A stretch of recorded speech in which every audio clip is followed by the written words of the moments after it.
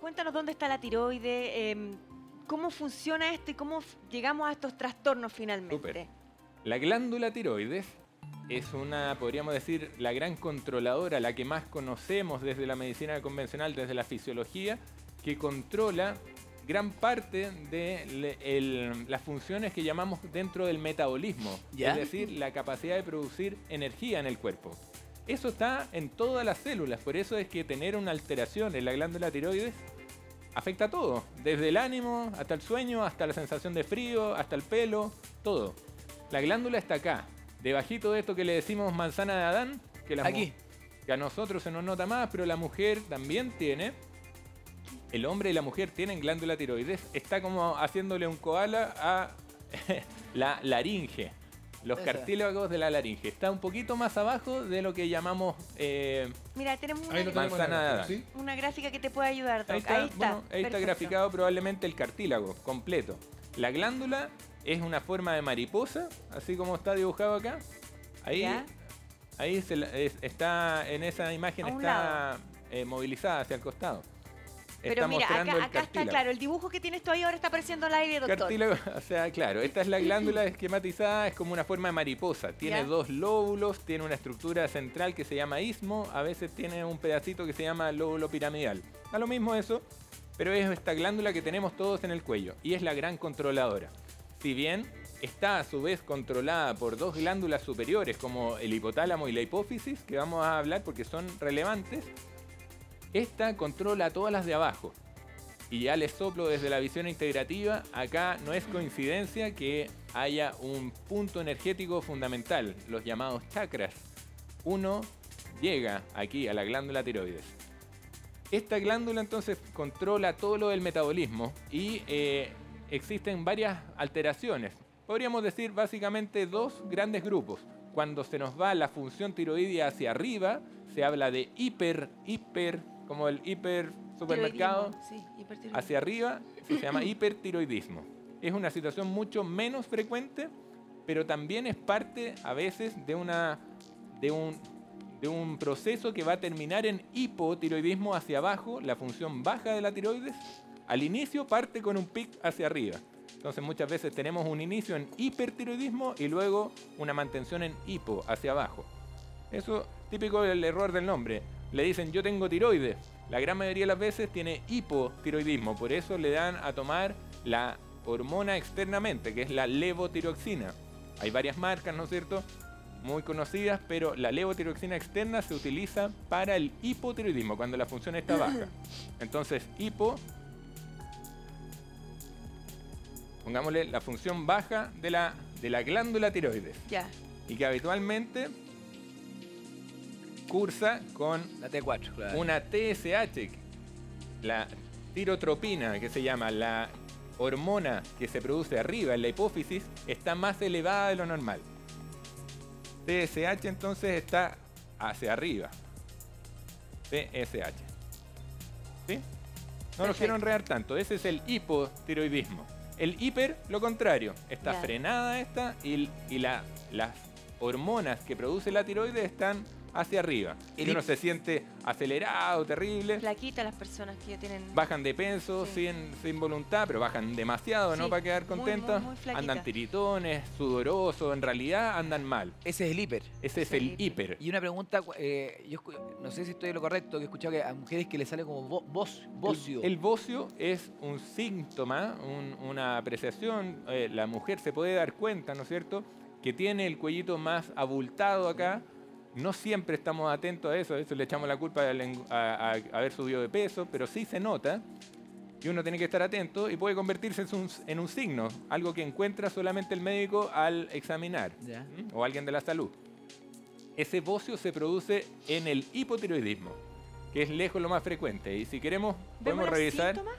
¿Perdón? Tenemos síntomas. Tenemos síntomas. súper interesante sí, y porque- están en un cartón. Tenemos creo. un Vamos cartón entonces de dirección que nos Sí. ayuda con eso, para que ponga está. atención en su casa. Mucha atención, aparecen síntomas iniciales, hipotiroidismo, heces duras o estreñimiento. Claro, constipación. sí, Nunca habría imaginado eso. Yo también. Porque el, el- la tiroides afecta también la movilidad muscular en el intestino, muchísimo. Entonces, si está baja la función, el intestino no propulsa adecuadamente las heces y eh, se produce constipación. Dificultad para ir al baño. Oiga, porque siempre se dice que la mu- mujer igual problemas para ir al baño. Sé que es muy frecuente. ¿Se acuerdan que el, el capítulo anterior hablamos de la personalidad metal? Metal, bueno, sí. esos son, pero eh, muy, muy, muy frecuente que su colon, su intestino grueso, les habla, expresa emociones, expresa muchas cosas. Y es muy habitual que tengan de base una constipación, que se tienen que ayudar con cositas, cambiar la dieta, eso sirve mucho. En este caso, sería una sorpresa, entre comillas, Ah, tener un, un tránsito impeque y de la nada o bruscamente empieza a cambiar. Se empieza a, le empieza a costar ir al baño, unas heces más duras, empieza a hacer un parto ir al baño y como que necesitan algo, buscar algo externamente que antes no tenían necesidad. Perfecto, vamos con el siguiente El cartón, siguiente Jaime. que dice así. Intolerancia al frío. Sí, esto no es solamente tener frío a veces, sino que como hoy día que no hace tanto calor. La Eso es normal.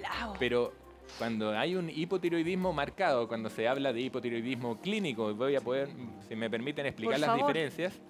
eh, cuando hay un hipotiroidismo clínico ya con síntomas evidentes, la persona anda con frío cuando andan todos, pero así, sudando. Entonces se pone un chalequito, se pone al lado una estufa, quiere sacar la estufa de nuevo. eh, ese tipo de cosas que como totalmente fuera de tiesto, eso es un- una señal de que, ojo, no vaya a tener una alteración en la tiroides. Oye, nuestros amigos acá de dirección dicen, bueno, las mujeres siempre son más friolentas que los hombres. Ya, sé que esta cuestión pues, puede ser como Es que se ¿sabes puede prestar para algo de género. No, pero no, no, pero eh, eh, lo interesante de revisar cada uno de los cartones es que al- más allá de los mitos o estigmas o, realmente en algunos casos realidades de cada uno de los puntos, nos vamos a poder dar cuenta, oye, realmente debería consultarse o no. Estamos recién partiendo. esa es la intención. Eh, de eso, eso es súper interesante y, y a veces asumimos cosas como realidades absolutas y no Y es no así. Ajá. Claro. El hipotiroidismo en hombres eh, Eh, pasa eh, ¿colado? desapercibido. Sí. Creemos que el hombre no tiene tiroides, poco menos. Cinco veces más frecuente es en mujeres que en hombres. Pero los hombres también le evidente, afecta. Pero al hombre también le puede ¿Y a afectar. qué edad aparte los hombres? Es más o menos en la misma edad. 25 más o menos. 30, sobre los 30 años. Vamos al próximo síntoma El del próximo síntoma hipotiroidismo. del hipotiroidismo. Ahí está, fatiga o cansancio. Sí, y desde acá ya se empieza a, a aparecer a síntomas como la fibromialgia, síntomas como eh, propios de la depresión, andar cansado constantemente, tener una cara de sueño. Pero tener... ¿qué, qué es realmente estar cansado? Porque uno hace una Ah. un cuestionario y todos estamos, ya, todos Claro. podrían estar cansados. ¿Cómo diferenciamos ese cansancio, doctor, para, para que sea una luz y de- determinar si sí o no? Correcto, me parece muy buena la pregunta. Si usted siempre ha sido bueno para levantarse en la mañana, eh, muy, por ejemplo, de esos que se despiertan antes del despertador y no tienen inconveniente en decir, chuta, estoy atrasado y me levanto rápido, bruscamente empieza a decir, ah, ya, y empieza a tirar lejos el despertador. Todos lo corremos cinco minutos. ¿no? Lo sé, pero cinco minutos, pero dos horas Ya, o entiendo. así como tirar la esponja y decir ya que tanto No la voy. pega y, lle- y llego tarde, así ¿Sí? como, como un cambio en la personalidad, ¿se fijan? Perfecto. Determinado por este cansancio incontrolable, eso es un síntoma.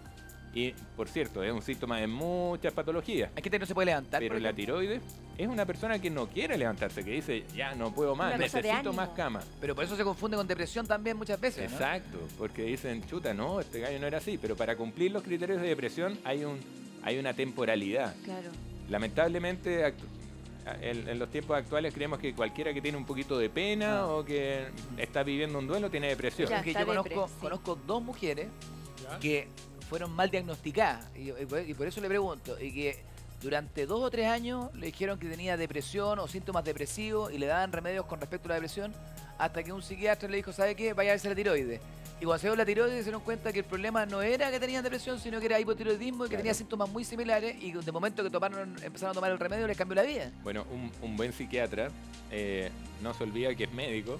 Y hace los exámenes previos. Por supuesto, Claro. para descartar o para confirmar su apreciación sugerente de depresión como tal, no es solamente así chequear, ah, eh, ánimo bajo, duerme mal, come mal, esos son los pilares, pero hay que descartar otras patologías. Las hormonas, podríamos decir, es la forma que tiene el sistema nervioso central de expresar en lo físico. Todas las hormonas parten desde un estímulo cerebral, desde un estímulo eh, nervioso. Desde ese impulso, las hormonas actúan y las hormonas son las que llegan a cada uno de los órganos a decirle más finamente y desde una visión más integrativa son las hormonas que le le transmiten la emoción a los órganos. ¿Sí? No me quiero meter ahí Sí. todavía, lo voy a hacer con mucha fuerza, pero más ratito. Ajá. Para hablar primero en delantal blanco. Ya. Oye, vamos con. Tenemos Otro. más cartones, ¿verdad? Sí. Otro síntoma. Sí. Aquí está. Tristeza o depresión, Claro. como decía Martín. Yo diría que no es un sinónimo. Depresión, sí. Depresión eh, se concibe como un ánimo bajo, Ya. eh, coloquialmente, ¿no es cierto? Como un sinónimo de la palabra. Pero depresión ya, depresión mayor, el, el- el término médico, no es solamente ánimo bajo. Entonces, ojo, cuidado con confundir. Y ahí ocurre que el exceso de medicamentos, como decía Martín, un ejemplo, muchas veces se confunde un hipotiroidismo mal diagnosticado o no tratado simplemente con eh, esto que es un tema muy, muy fuerte, la depresión mayor. Perfecto. Vamos al próximo, Sí. Jaime, atención. Dice, el cabello y la piel se vuelve áspero y seco. Claro, esto es algo que las mujeres se dan cuenta de inmediato. Uno no Eh, se da ni cuenta. Yo, yo, yo nunca me he dado cuenta, tengo el pelo seco. Es la misma cuestión, para Se uno da más, súper bruto, ahí vemos las diferencias. Pero Sí. la mujer se da cuenta al tiro. Pero usted diría, Doc, que. eh, bueno, el cabello es más fácil, uno inmediatamente. Pero puede. O sea, puede ser posverano, bueno, siempre uno le puede dar una vuelta. Pero la piel. ¿Es en todo el cuerpo? ¿Hay partes del cuerpo que se resecan antes que otras, por Sí. ejemplo? La, la piel pareciera gritarle que algo le pasa. No es solo falta de lubricación, sino que la piel parece ponerse ¿Como escamosa? más acartonada, como más gruesa. Le entiendo. ¿Me entiendes? Sí. En términos generales, si dijimos que la glándula tiroides controla el metabolismo completo Sí, del cuerpo, sí. la piel expresa ese metabolismo y como todo se enlentece y uno empieza como, como que lo hubieran puesto, se me va a caer el carnet aquí, pero ese, ese efecto al cassette que ande más lento la Sí. cinta y brrr, empezamos así, Sí. la piel también lo expresa y se, pone más lento entonces para eh, ¿Renovar? renovar la epidermis y Ah. empieza a engrosar. pues. Ah, claro, porque queda como llena de células muertas, ¿verdad? Como la células capa muertas. gruesa de célula Exactamente, muerta. Exactamente. Ah, Entonces se nota, la mujer lo nota porque eh, Perfecto. va a maquillarse y chuta, la piel es distinta. Ya. El pelo pierde brillo. Sí. Me acuerdo de una película ahí, el Sí, po, chacotero del rugby. me acuerdo, Sí, po, pero, cuando sí. perdía brillo era para otra cosa, po. Pelo opaco. bueno, pero influye. ahí, por esa cosa, es que también influye la tiroides. pues. También. Ah, y debe estar en pues, cartones, ¿o no? por supuesto, Baja el pues. deseo. Baja el deseo, pues. ¿Pero, Ah. cuánto Baja la- ba- ¿Pero cuánto baja, doctor? Baja harto, baja significativamente y es una de las causas de pérdida de líbido o libido más frecuentes en, en mujeres y hombres jóvenes, súper mira. jóvenes, que no están tomando pastillas, no le pueden echar la culpa a un fármaco. Ojo con la tiroides. Si usted está perdiendo su líbido así, pero eh, de forma importante, ya se nota y ya le incomoda, ojo, a consultar por su tiroides. O sea, yo sé que Habitualmente los hombres consultan por eso. Ajá, claro, y ahí descubren lo de la Ahí les tiroides. parece como raro, claro, ando ¿Sí? con sin ganas. Claro. Yo era un campeón, qué sé yo. Claro. Oiga, Doc, Pero- te nos quedan más cartones, yo sé, pero una persona para determinar que tiene eh, trastornos en la trastorno en la tiroide, en las tiroides, ¿verdad? Tiroides. Es la glándula tiroides. La glándula Es tiroides. la, La- porque es una sola. Sí, la glándula tiroides. ¿Tienen que ser varios de estos o puede ser uno, solo una de estas alternativas? No, pues son, son varios. Son la varios, ya. Entonces no asustarse si usted tiene solamente un cansancio porque no ha tomado vacaciones como el doctor Soto hace como Ah. dos años. Bueno, no, no es así. Ojo, atentos. Yo no quiero caricaturizar esto porque en realidad es muy, muy, muy Sí. frecuente en Chile y hay- yo sé que hay harta gente atenta. Y hay un porcentaje además no, tra- no tratado, ¿no? Muchísimo. Y otros que se revelan al, al tratamiento farmacológico ¿Ya? y empiezan a buscarlo no asesoradamente en, en- en alimentos, en, en productos más naturales. Y ahí también vamos a, a demostrar cómo nos podemos hacer daño. Perfecto. ¿Hay más? Sí, Dale. tenemos, aquí están. Uñas se ponen quebradizas Claro. y débiles. En esto sí que las mujeres se dan cuenta, pues el bueno, hombre, pelo, piel, uñas. uñas ya son demasiados síntomas, Sí, pues. ¿no? Pero también eso puede ser esos tres factores de, de que le falte algún mineral. Claro. Entonces, ojo, no alertarse tanto, pero sí, si usted está notando eso hace varios meses, ¿por qué no considerar en su chequeo anual que deberíamos tener, chequeamos el auto y no nos vamos a chequear uno, una revisión técnica que se haga, inclúyale, por favor, sugiérale a, a ese doctor, aunque usted no tenga antecedentes familiares de hipotiroidismo, que incluya el perfil tiroideo. ¿Qué es, ese? ¿Qué es eso, el perfil tiroideo? ¿Cómo chequeamos eh, la salud de la tiroides? Lo aprovecho de decir al tiro. Se miden en sangre ¿Ya? eh, tres cositas. La, lo digo acá, Un, un simple examen de sangre. ¿sí? Un simple examen de sangre. Se mide la TSH, que como está graficado acá, la produce la hipófisis, que se llama tirotropina, es la hormona que controla a la tiroides. Vamos a medir eso, vamos a medir T4 libre. ¿Qué es la T4? La tiroxina, una de las hormonas que produce la glándula. Esta es la que más se produce, pero es la T3 la activa, la que hace la pega es la T3. Entonces, la glándula produce ambas, produce mucho mayor proporción de T4 y en algunos tejidos del cuerpo, como el hígado, los riñones y otros, se transforma a T3, que esta es la que hace la pega. ¿De acuerdo? Esta es la que mejora el metabolismo, ¿Y lo también acelera. se mide la T3 también, Doc? Se puede medir la T3, que es lo más correcto, Ya. y en algunos casos donde eh, se sospecha muchos síntomas, pero parece todo normal, se puede medir esta de arriba, la TRH, la Ah. hormona liberadora. Esto no es, no es lo habitual. La hormona liberadora de la tirotropina. Perfecto. Esta se produce más arriba, en el hipotálamo. Y todo con un examen de sangre. Esto es en sangre. Yo agregaría a esto una imagen, que es la ecografía o ecotomografía tiroidea, súper sencilla, una eco, ¿Ya? y en algunos casos, cuando hay sospecha de hiper hacia arriba, hipertiroidismo, y la persona parece ser, por ejemplo, una de las causas del hipertiroidismo son tumores y sospecha de cáncer tiroideo, es que ahí vale la pena hacer una gammagrafía.